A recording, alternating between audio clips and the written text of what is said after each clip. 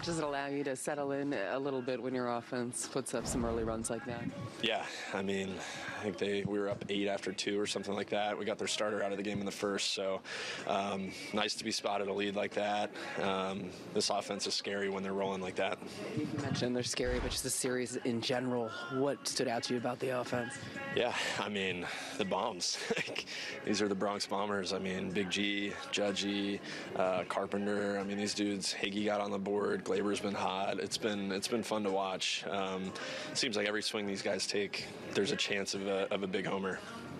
What's it like watching Carpenter doing what he's doing right now? It's nice. I mean, he comes in here and fits in right away. Super professional. Um, acts like he's been on the team for forever. Great teammate, um, and he fits right in in the lineup too.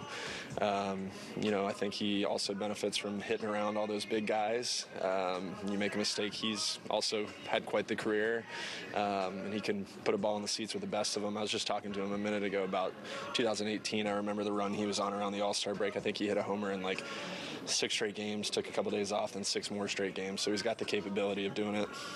You guys have been pretty unstoppable at home. What is it about playing here that has you so locked in? I don't know. Uh, these fans are great. I love pitching here. I love the mound. Um, the fans are in it on every pitch.